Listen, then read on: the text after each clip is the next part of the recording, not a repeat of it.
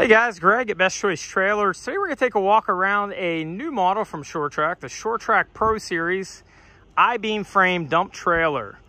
Awesome trailer. We've only had it here for a few hours, but we wanted to make sure we got a video so everybody could see it. I suspect a lot of dealers don't have these in stock yet, but we'll eventually be getting them in. Uh, shown here is a 7 by 14 foot, 17,600 pound GVW low profile dump trailer. So first things first, some people might say, well, how do you get 17,600? Uh, this trailer's got tandem 8K axles, which would generally equal 16,000. On the Pro Series, Sure-Trac on most models would seem to be adding some tongue weight, which is reasonable. Um, mixed feelings on this. Call in if you got questions on tongue weight. But uh, tongue weight you're going to get no matter what on the truck side. It's going to basically generally be about 15% in a bumper. On this, they've counted uh, some of that tongue weight in, 1,600 pounds. So again, on uh, 8Ks, they're counting 1,600. On this Tandem 7Ks, instead of rating them at 14, you're gonna find they're at 15,400 pounds. So let's get into this. We'll show you, we've walked around this a couple times and I found about 15 differences the first time and then we found some more. I think total we're close to 20 differences between this and what I'll call the normal uh, Sure-Trac models. Now let me look at the weight sticker, kind of start there and kind of the, the proof is in the pudding here on the what is different about these. So 17.6 GVW, 12.6 payload. That means this trailer weighs basically 5,000 pounds. Historically, Sure-Trac's always been a little bit lighter in some of our other brands, but oddly enough seem to hold up just as good, if not most times better. Uh, just proper engineering, attention to detail, looking at any problems they've ever had and fixing them and just making everything better. Um, so it's, it's kind of uh, unusual for Sure-Trac to be, I'll say, the heavyweight. But on this Pro Series, they most certainly would be um, probably as heavy as anything we're going to have. Uh, the 14,000 or the 15,400 15, pound models, I believe they were coming in about 4,500 pounds, give or take, on the 14 footers. Uh, comparison to the old models, uh, the 14,000 pound Sure-Tracs were coming in about 36 to 3,800 pounds. So we're picking up probably a good six, seven, eight, 900 pounds on average on this model. And we'll show you where all that weight's going uh, with all the additional things they've added to these. So up front, we've got a heavy faceplate coupler. It's got a four bolt coupler instead of the traditional two bolt. Uh, these seem to be coming through with a pintle, but we also keep 2 and 5 16 couplers in stock should you need a ball coupler. Uh, old style had the tube frame, so it was a stacked tube frame. These are going to be 8 inch I-beam. I believe 7K axles, I think the spec was 13 foot pound on the 8s. I think it was going to be a 15. Um, but I-beam frame basically continuous front to back on these um, where the old stack frame, basically you had a tongue that came to your hangers and then basically had a main frame that ran the length of the trailer. So it's an I-beam continuous throughout. Sealed seven pin harness. It is a RV blade style plug. Now one nice thing, the colors show basically where your functions are, which is nice. The industry's starting to see that. You've got a plug holder for it. Sure-Trac upgraded to the 12K jack instead of the 7s on probably two years ago on the 14K Plus models. Now on the Pro Series, they're also adding a two-speed jack mechanism, which is nice. You see that more on your maybe bigger goosenecks or semi-style jacks. You'll see two-speed upgrades. Uh, Monster Toolbox, exclusive to the Pro Series. Uh, there's a few other manufacturers in the industry now kind of doing something kind of similar. Uh, Monster Box Got grease zerks in the back there for some serviceability. Gas shocks on either side sure make it nice. Uh, they added a light for some nighttime functionality. Uh, huge front compartment. Um, you wouldn't really need to carry hydraulic fluid because it's a power up gravity down. Theoretically, there's really no way to lose fluid on this. Uh, unlike a, maybe a power up, power down with a dead battery situation, you could lose some hydraulic fluid. So probably not a need for hydraulic fluid, but certainly big enough for probably a chainsaw and bars or whatever stuff you need to carry. Um, uh, in here, straps, binders, whatever you need to put in. There's also some room back here. It looks like there's a couple uh, bungee cords standard equipped. Uh, this is a power up gravity down on the telescopics. I don't know how many quart that reservoir is. It's a it's a big boy. Um, speaking of the reservoir being a big boy, uh, that is because you've got a big boy cylinder on this as well. Sure-Trac typically 12 and 14 footers was using, a, I believe, a 108 cylinder and then 120s on 16 footers. Looks like on all the Pro Series, you're going to get a 120 stroke upgrade as standard equipment, which just means you're going to get uh, some more uh, angle, uh, lift angle standard with these. So again, lots of room in that toolbox. It is a two button up down remote. We may have some four buttons coming in with hydraulic jacks uh, on some of these. Uh, one other thing that is is kind of smart, besides just the battery being fully contained, no uh, no have to worry about you know arcing on if you put straps in here on on your battery and whatnot. But they've kind of hidden the uh, 110 volt charger in the rear of the box, which is neat. That's where you'd basically plug in, and then your actual maintainer is back in the rear corner, so nothing's going to be hitting it, etc. Super smart design. Uh, they've also uh, put a manual on here. Being that this is gravity, it's not theoretically hydraulically locked in place. If you had a big enough piece of equipment, it could want to tilt, so you've got a manual safety up front if you're going to load heavier equipment. Uh, reinforced where your I-beam comes around up front. Nice the way uh, it's got a bullet LED, powder coated tough. It is a powder coated trailer. Typical Sure-Trac, any seams you've got are all gonna be sealed to help keep any salt and acid rain, etc. out of those joints. You've got some stake pocket tie downs. Uh, additional features for the Pro Series not found on the standard would be your sail bar. So basically, sail bar is super nice, goes one side to the other. Simply walk it back to the back of the trailer, hook it in your hooks, and you are done. Uh, I got a couple bungees in the toolbox. You can bungee those down to the sides, which are another, uh, another piece that's gonna be different on this model. Uh, side steps, another difference. It is larger and has your punch plate on it. Slick design on that. Uh, we've noticed that your stake pockets are substantially heavier. I'd say at least probably two gauges heavier. Um, on your stakes. You've got on a 14 footer, four going down the sides. I think the old style, you had three, I believe. Top rail on this is also uh, heavier. This is a two by three tube top rail, uh, where before it was formed, you would come up, out, and down. This is all boxed in, super strong top rail. Uh, still five stake, uh, five D rings, I'm sorry, in the bed standard equipment, four corners, and then you've got one up front. Uh, on this I-beam, I'll, I'll, put it up in a second, but it actually sits a little lower than usual. This one, I believe we measured around 27 and a half inches. Uh, the old style, I believe, was 29, so we dropped about an inch and a half on this. Um, and part of that is how the bed frame nestles. We'll show you that in a second.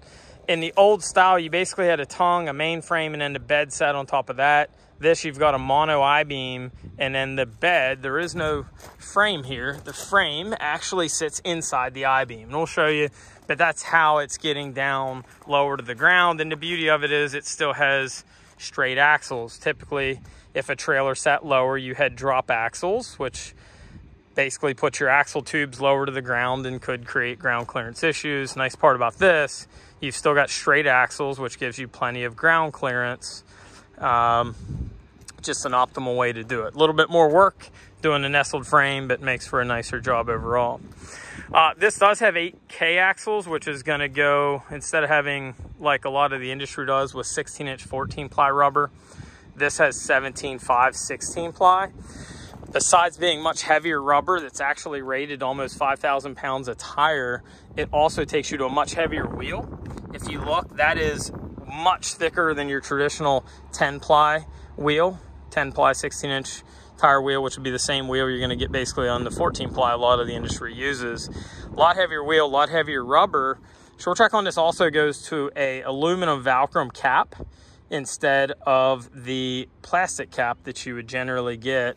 Uh, much tougher. I have yet to have somebody break one. I'm sure somebody somehow has figured out a way, but I have not met that individual yet. Plastic caps were fairly easy to crack in a landfill or if you uh, mudded your tires or whatnot. Slipper spring suspension also has a wet bolt um, kit on it, so you've got some serviceability uh, to those slipper springs. Uh, one other thing that we believe to be a difference, and we're waiting for confirmation, that sideway, that keyway adds a lot of strength. Sure-Trac standard uh, dump trailers, 11 gauge, that sure feels like 10 to us. So I believe the sidewall on this is also heavier in addition to everything else, which speaking of being heavier, standard on Sure-Trac's normal dumps is seven, I'm sorry, 10. This Pro Series model is seven gauge. 7 gauge would be 3 16th, 10 gauge would be 1 8th of an inch. So you're talking a 16th thicker, roughly 50%, or about 2.5 pounds per square foot. 7 by 14 foot dump's going to be 98. 98 times roughly 2.5 pounds per foot. You're going to add probably just shy of 250 pounds in the floor of this dump trailer alone. That's just the added weight in the floor.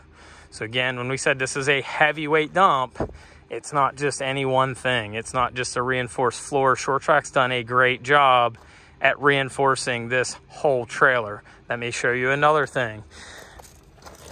This hinge is much substantially heavier than what was on the old one. It is reinforced inside out and it's boxed in at the top. It's also got a grease zert on it. I like what they did.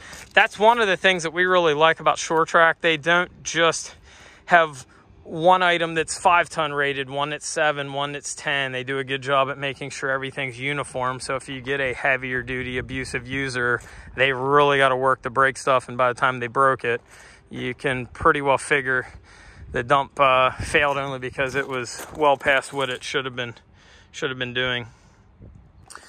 Uh, gate on this, boxed out top, bottom, uh, heavier all the way around all four sides. And then it also has an auto latch mechanism. We'll show you that in a bit. Of course, grease zerts all the way around. You've got a retainer pin for the door when in use. You've got a spreader. Uh, this is pretty slick. They actually did this so it's it's virtually impossible to come out. Um, so your spreader gate is standard equipped. Uh, one thing that is new that is a standard feature is a rear stabilizer jack. I caught it because I need to put it back in to get this dump bed up here in a second. But it's 2 by 2 tube, not 1 by 2 It's also a much heavier gauge. I don't know what it is, but I can see it's clearly thicker. Um, so anyway, rear stabilizer jacks are standard on this. Uh, the standard dumps are prep for it, but that is not standard equipment another cool feature on this, this model, the Pro Series, has uh, a rear bumper. None of the other Sure-Tracs have, which some aspects of not having a bumper actually like. One thing I do really like is this license plate mounts all the way to the rear. A lot of times they mount about four foot, three foot underneath, and you can't hardly see them. DOT is really going to like that. Um, don't know that that helps the average customer, but it will. DOT will certainly like being able to see the plate and having your lights over it. Uh, one of the benefits of having a bumper too would be you can have a, it just looks, I guess, more finished. Uh, the old style I actually like because it was very functional. Uh, the only thing we found with other manufacturers are a lot of times when they do these holders, they don't put grease zerts on these for serviceability and they seize up if you're not real careful. They have put zerts on these, which are nice, but I would simply say as a customer, you buy this trailer, make sure these get grease um, even with grease, they can uh, seize up some, but certainly last a lot longer than the ones that just uh, cap them at both ends and you know no great way to service them. Ramps are underneath as usual with Sure-Trac. We did notice and i'll try to show you when we put the bed up it's a four inch ramp as opposed to a three inch ramp. So even the ramps got heavier on this. Try to show you this gate functionality while we're back here so if you watch, this is going to basically self-latch. Pretty cool. And you can even do it with one and a half hands.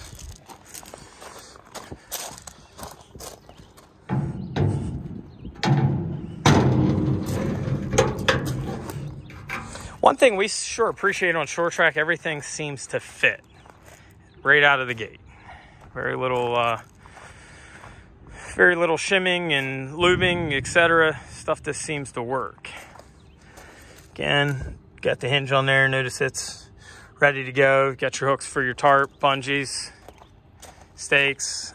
I don't believe I mentioned the front and rear bulkhead. That feature has also carried over uh, from the standard model, which is nice. A lot of folks like that. And then you've got the reinforcement protection. Not sure if I mentioned that earlier, but that's a nice detail. If you got a payloader that's loading from the top, it's not coming straight down on that tarp.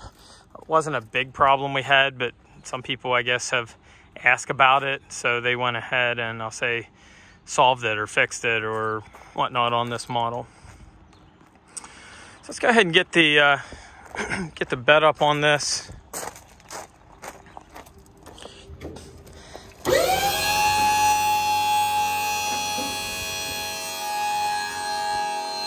So I want to show you, this is the nestled bed frame I was referring to. You'll notice on this, the bed frame sits inside the I-beam. That's what allows you to get down even lower than normal. Telescopic hoist is a three stage. We are in stage one, about to hit stage two. It'll get a little quicker. There you go, a little louder. And it'll do that till we get to stage three. Ramps are under mount. One of the other things that we notice that is different these are structural channel cross members, not fabricated cross members. I don't have a preference. I think, uh, I think from a strength standpoint, they're probably fairly similar. But these are a structural channel heavyweight. It's got that 120 stroke telly I was saying about.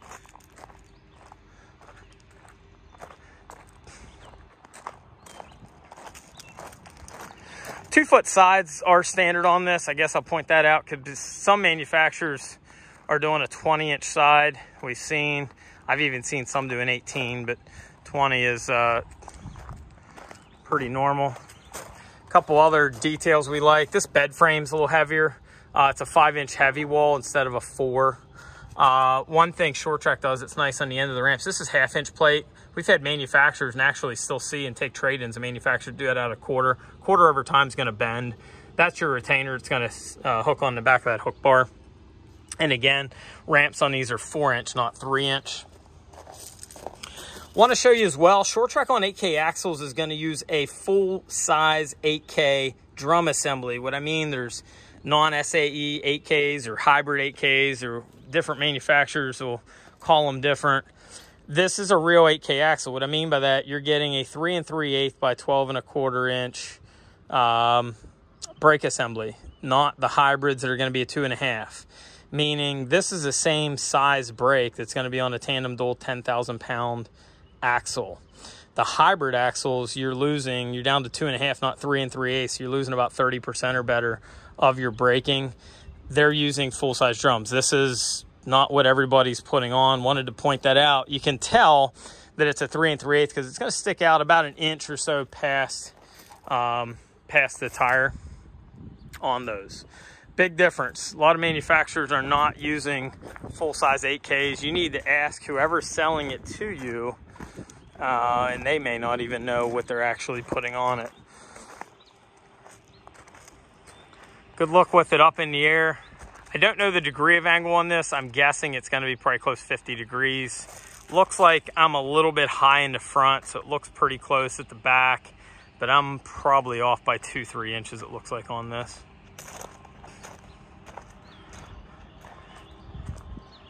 Telly hoist. Let me go ahead and put it down. It is gonna be gravity down, as would be your tellies. Stage one's pretty quick. Stage two, it's gonna slow down a little bit. Stage three, it'll slow down even more. Uh, what we find net is, it's about the same speed as dual piston and scissor, but I guess at the end of the day, who cares if it takes 20 seconds more or less time? At the end of the day, what most guys are gonna care about is that it dumped the load or was I shoveling it by hand? And a telly is super, uber efficient. It is three stage, not one. It's front mounted, not under mount.